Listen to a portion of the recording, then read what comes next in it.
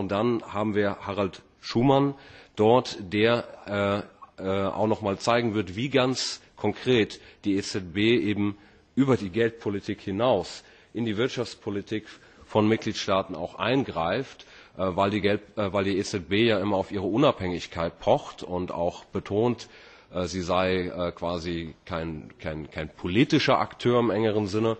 Ähm, Harald Schumann hat immer wieder gezeigt, dass dem nicht so ist.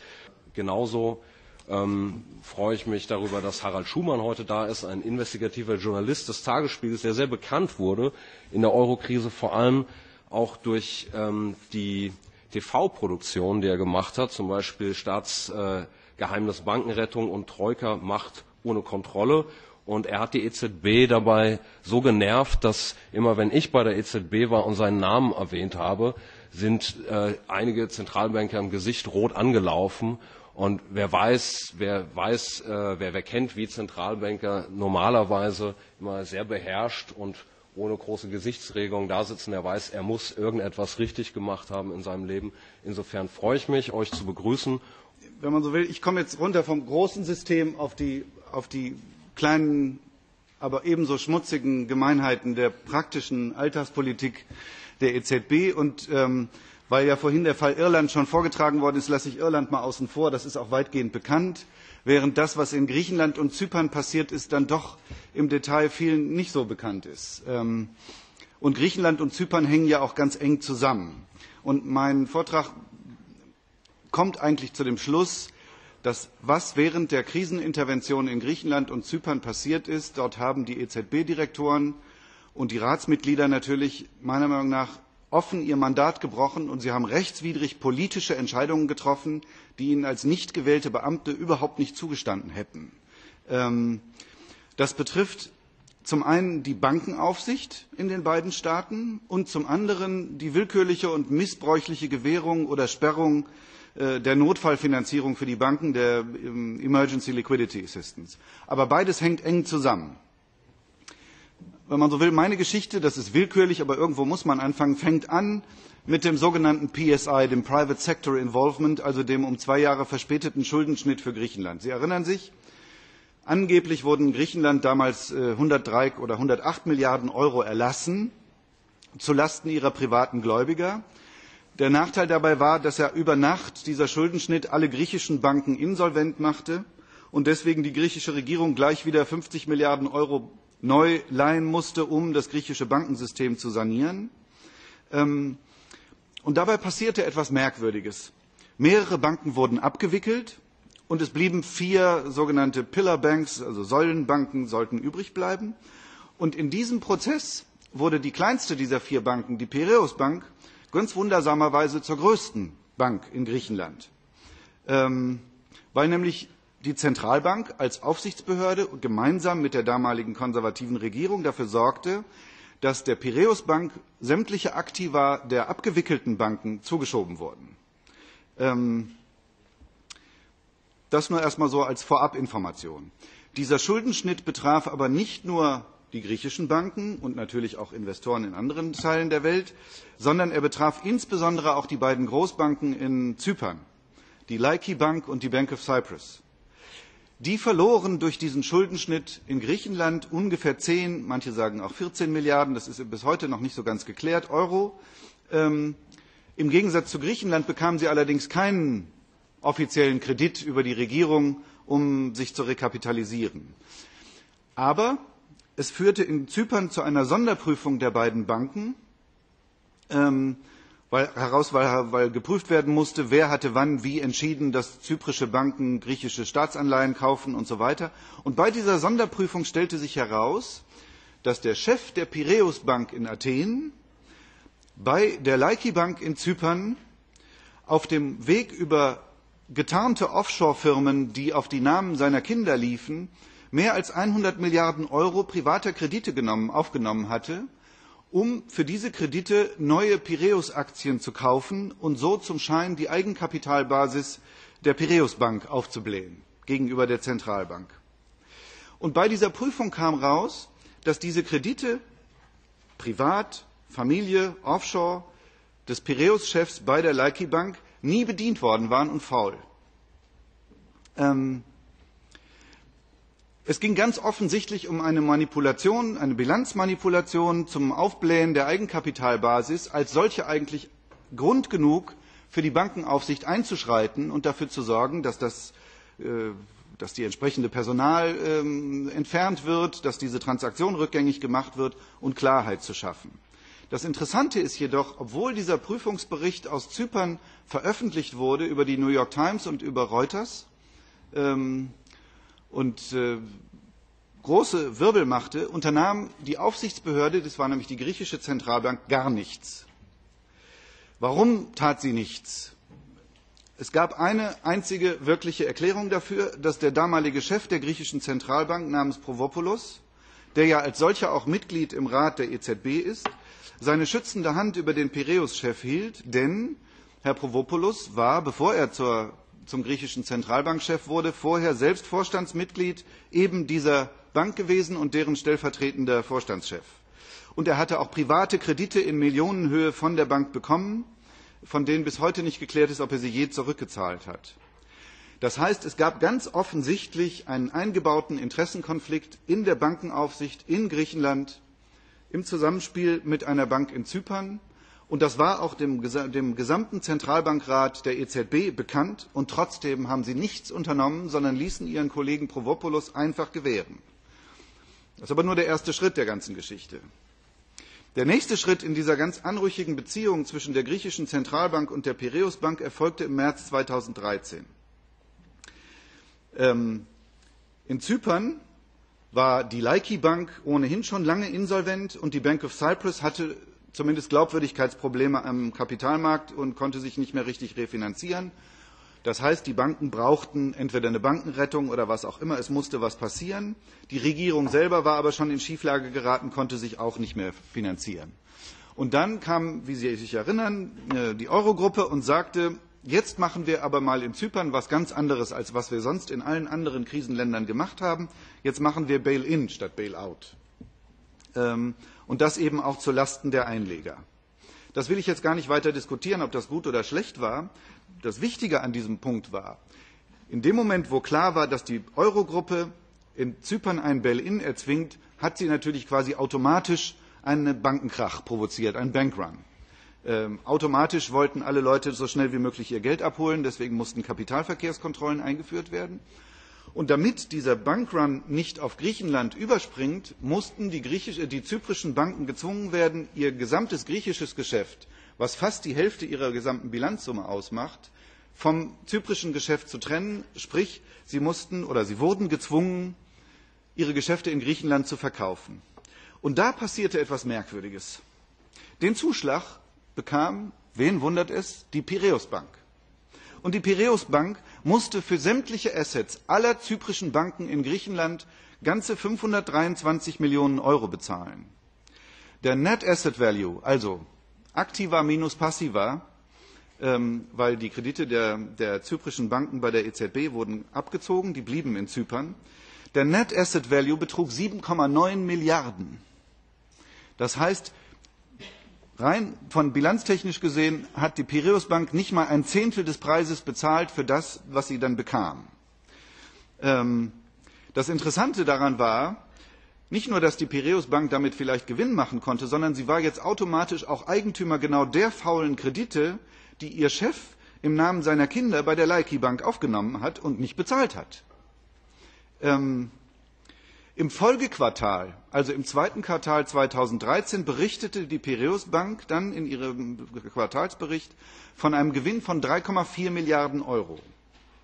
Das heißt, der Zwangsverkauf der griechischen Geschäfte der zyprischen Banken an Piraeus bescherte den zyprischen Banken natürlich ebenso etwa eine Summe in dieser Größenordnung als sofort realisierten Verlust und erzeugte damit erst die Insolvenz, also auch die technische Insolvenz der Bank of Cyprus und damit die rechtliche Voraussetzung dafür, dass der Bail-in und die Abwicklung überhaupt stattfinden konnten. Die EZB rechtfertigte in einer Antwort an den Abgeordneten Giegold hier aus diesem Parlament diesen Vorgang damit, dass es sich bei diesen 3,4 Milliarden Euro nur um Buchgewinne handelt. Ähm, weil in, da waren nämlich in Wirklichkeit waren da so viele faule Kredite drin, dass das tatsächlich nur 524 Millionen wert gewesen sein soll. Aber das ist grob irreführend, weil die Risikoanalyse, auf die sich die EZB bezieht und wo sie offenbar davon ausgeht, dass Parlamentarier zu blöd sind, sich die selber zu beschaffen und die zu lesen, diese Risikoanalyse war, wurde von PIMCO erstellt, einer Beratungsgesellschaft, ähm, die für die zyprische Zentralbank den Wert der griechischen Assets der zyprischen Banken bewertet hatte. Und da kam sie zu dem Schluss, dass selbst für das Worst-Case-Szenario, also für den schlimmsten angenommenen Fall einer maximalen Teil von Non-Performing Loans, von faulen Krediten, ähm, dass die übernommenen Aktiva mindestens 2,4 Milliarden Euro wert waren. Das heißt, selbst nach dieser Analyse von PIMCO bekam die Piraeus Bank 1,9 Milliarden Euro zugeschanzt. Alle Erfahrung lehrt, wenn so viel Geld ohne jede öffentliche Kontrolle, ohne dass ein Rechnungshof oder irgendeine andere öffentliche Institution das überprüft, wenn so viel Geld von einer Institution auf die andere und noch dazu über Landesgrenzen übertragen wird, dann ist die Wahrscheinlichkeit, dass dabei Korruption und Bereicherung im Spiel ist, fast 100 Prozent. Ich meine, 1,9 Milliarden, das sind 1900 Millionen Euro. Warum nicht 4, 5 Millionen für diesen und für jenen abzweigen? Ähm, natürlich kann ich das nicht beweisen. Aber zu diesem Vorgang passt ein weiterer Umstand. Und das ist, dass die ganze Sache mit dem Zwangsverkauf ja nicht plötzlich irgendwann im März zwischen zwei Verhandlungsrunden der Eurogruppe entstanden ist, sondern die gesamte Sache mit dem Zwangsverkauf hat ein Team in der Europäischen Zentralbank unter Leitung eines griechischen Juristen schon zwei Monate vorher im Detail geplant und vorbereitet.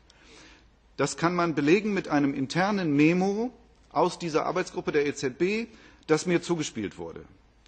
Und dieser EZB-Beamte hatte nachweislich enge persönliche Beziehungen zu jener Anwaltskanzlei, die, für die Piräus Bank alle Rechtsangelegenheiten über viele Jahre geregelt hat. Ähm, die Nachfrage zu so einem zumindest potenziellen Interessenkonflikt innerhalb der EZB hat Herr Draghi gegenüber Herrn Giegold so beantwortet, ähm, so ausweichend, dass dieser Fall eigentlich staatsanwaltschaftlich untersucht werden müsste. Weil Herr Draghi behauptete einfach, ja, Herr Athanasiou habe zwar früher Beziehungen zu dieser Kanzlei gehabt, aber das sei lange her. Und im Übrigen sei zum Zeitpunkt der Transaktion des zyprischen Geschäfts da in Griechenland, ähm, sei die Kanzlei gar nicht mehr für die Bank tätig gewesen. Also eine schwächere Entschuldigung gibt es im Grunde gar nicht. Ich sage deswegen eigentlich staatsanwaltschaftlich ermitteln, weil das Problem ist, selbst wenn es einen Staatsanwalt gäbe, der das Ganze ermitteln wollen würde, er könnte gar nicht, weil dafür gibt es gar keine Rechtsgrundlage. Denn alles, was die Beamten im Rahmen der Troika-Programme tun und taten, geschieht und geschah im rechtsfreien Raum der intergouvernementalen Vereinbarungen. Und die Beteiligten genießen diplomatische Immunität. Das heißt, sie können gar nicht verfolgt werden, selbst wenn man ihnen was nachweisen könnte. Und nun zum Machtmissbrauch mit den Notfallliquiditätskrediten, die ganz eng mit dieser Geschichte zusammenhängen. Ähm, das hatte nämlich schon lange vor diesem krummen Deal mit den, Zypern, mit den griechischen Assets der zyprischen Banken begonnen. Die Laiki Bank war eigentlich direkt mit dem Schuldenschnitt in Griechenland pleite. Die zyprische Laiki Bank war insolvent. Aber Diese Insolvenz wurde nicht vollzogen, weil die, zyprischen Behörden es nicht wollten. Die zyprische Regierung wollte es verhindern. Und, Wunder oh Wunder, ein Jahr lang gewährte die Europäische Zentralbank der insolventen Laiki Bank ähm, äh, bis zu 10 Milliarden Emergency Liquidity Assistance, teilweise gegen absurde Sicherheiten. Also da wurde zum Beispiel als Sicherheit gegenüber der Zentralbank angegeben ähm, der Fitnessclub. der Fitnessclub des Personals der, der, der Laiki Bank und solche Geschichten. Ähm, das Interessante daran ist, dass über diese ein Jahr ELA-Vergabe in Zypern die sogenannten Major Financial Institutions, wie sie in den, in den Statistiken der Zentralbanken heißen, mit anderen Worten die anderen Banken und Versicherungen der übrigen Eurozone, ihre in Zypern zu hohen Zinsen geparkten Geldern abgezogen haben. Genau in dieser zwölf Monatszeit zwischen März 2012 und März 2013 fielen die Anlagen der Major Financial Institutions from the Eurozone in Zypern um ungefähr 10 Milliarden Euro. Und erst danach war man offenbar bereit, das Bail-in zu machen. Bedeutete aber dann natürlich, dass für diejenigen, die verblieben waren als Einleger und Kapitalgeber für die zyprischen Banken, dieses Bail-in für sie umso teurer wurde und sie deswegen einen höheren Anteil leisten mussten. Deswegen wurde im März 2013 dann plötzlich umgeschaltet und auf einmal drohte die EZB Zyperns Regierung mit der Sperrung der ELA, weil diese sich nämlich zunächst geweigert hatte, den Bail-in und den Zwangsverkauf der griechischen Geschäfte zu akzeptieren. Das war, wenn man so will, der erste offensichtliche Missbrauch der ELA für politische Zwecke, weil entweder war es illegal, die ELA zu geben über ein Jahr, dann hätte sich die EZB dafür verantworten müssen. Oder aber sie hätte das fortsetzen müssen und hätte es nicht mit einem politischen Jungtim verknüpfen dürfen. Aber genau das hat sie getan. Und wenn man gewissermaßen, wenn man, so sieht, dann war eigentlich Zypern so eine Art experimenteller Vorlauf für das, was dann im Sommer 2015 in Griechenland geschah. Dort wurde nämlich erneut die Vergabe der ILA-Kredite als Instrument genutzt, um die Syriza Regierung zu zwingen, den Forderungen der Gläubiger und ihrer Troika nachzugeben. Damit erzeugte die, EZB in, der, in Griechenland genau den Bankrun, den zu verhindern eigentlich ihr zentraler Auftrag ist. Ich meine, man muss sich überlegen, Zentralbanken wurden eigentlich mal gegründet, um genau solche Situationen zu verhindern. Insofern war auch das ein klarer Verstoß gegen das Mandat der EZB und meiner Meinung nach sogar ein offener Recht, Rechtsbruch. Und mich wundert ehrlich gesagt, dass es bis heute keine Klage vor dem EuGH in dieser Sache gibt. Weil man muss sich das schon klar machen. Das Mandat verpflichtet die Europäische Zentralbank für eine reibungslose Funktion des Zahlungssystems in allen Mitgliedsländern der Eurozone zu sorgen. Das ist ihre zentrale Aufgabe neben der Inflationsbekämpfung. Und mit der Sperrung dieser weiteren Liquiditätskredite für die griechischen Banken hat sie dann das genaue Gegenteil erzeugt. Ja? Ich meine, Hunderttausende Griechen konnten ihre Renten und ihre Gehälter nicht mehr abheben und viele Unternehmen konnten ihre Waren nicht mehr bezahlen. Das heißt, die ordnungsgemäße Funktion des Zahlungssystems war nicht mehr gegeben. Ähm, dass es sich bei dieser Entscheidung zur Begrenzung der ELA um eine Anmaßung und um einen Missbrauch politischer Macht handelt, das verrät schon das Timing. Der EZB-Rat verknappte die ELA-Kredite parallel zur Eskalation des Konflikts zwischen der Regierung und den Kreditgebern. Und sie stoppte die weitere Erhöhung ausgerechnet in dem Moment, als die griechische Regierung die Forderungen der Gläubiger ihren Bürgern zur Entscheidung vorlegte, also die Referendumsentscheidung. Es gab zwei Argumente, um diese Erpressung zu rechtfertigen. Das will ich kurz noch, noch mal, weil ist wichtig. Das erste Argument lautete, eine weitere Ausweitung der ELA-Kredite würde nur zur Finanzierung der griechischen Staatskasse dienen. Das wäre also eine illegale monetäre Staatsfinanzierung. Das ist allein schon deshalb unsinnig, weil ja genau das ohnehin in allen anderen Mitgliedsländern seit vielen Jahren stattfindet. Also allein deswegen ist es schon falsch. Aber in Griechenland war es auch faktisch falsch. Denn die EZB hatte in ihrer Funktion als Aufsichtsbehörde verfügt, dass die griechischen Banken selbst maximal 15 Milliarden Euro an griechischen Staatsanleihen halten durften. Und das Limit war längst erreicht. Das heißt, die ELA-Kredite hätten auf gar keinen Fall der griechischen Kasse zufließen können. Außerdem hatten die Banken noch 25 Milliarden Euro an Anleihen ausgegeben, die vom Staat garantiert waren. Insofern kann man sagen, insgesamt vielleicht 40 Milliarden, aber mehr nicht. Alle Assets der griechischen Banken zusammen betrugen aber 400 Milliarden. Insofern war das Argument gar nicht schlüssig. Und das zweite Argument war, und das war, wenn man so will, auch das Instrument, dass die griechischen Banken nicht genügend Sicherheiten gehabt hätten, um weitere ELA-Kredite zu rechtfertigen, weil, wie gesagt, jede Bank muss Sicherheiten bieten. Aber auch dieses Argument hält der Überprüfung nicht stand, wie der Kollege Martin Sampu von der Financial Times es sehr treffend äh, zusammengefasst hat. Denn die EZB hat einfach alle Assets, die die Banken anboten als Sicherheiten, nur zum halben Wert akzeptiert. Gleichzeitig hat sie aber zuvor als Aufsichtsbehörde festgestellt, dass dieselben Banken mit einem Eigenkapitalanteil von 18 Prozent an ihren Aktiva ausreichend kapitalisiert seien. Das heißt, für die Aufsicht hatten die Aktiva 82 Prozent des Buchwertes, für die Notfallkredite hatten sie aber nur 50 Prozent des, äh, ihres Buchwertes. Das belegt, dass da rein willkürlich entschieden wird und entschieden worden ist. Und ich denke, damit kann man beweisen, dass der EZB-Rat sich im Fall Griechenland und bei der Vergabe der ELA-Kredite politische Macht angemaßt hat, die ihr nicht zusteht. Und dieser Fall gehört vor Gericht.